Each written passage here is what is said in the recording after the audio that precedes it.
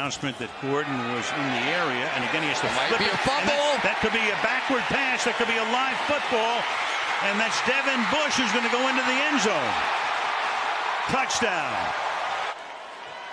Oh, no doubt. That's not even close. Mm-hmm. Of course, it's reviewed as a scoring play, but no question it will be confirmed, and the Steelers can set up for the extra point by one here. Four-man rush. Rivers has it tipped, and it's going to be picked off again, and it's Bush again. Devin Bush. Here is going to get the tip right up in the air, and then it is Bush again. in the pistol formation for the first time. They'll give it to Conner, and Conner's going to go all the way into the end zone behind a Vance McDonald block.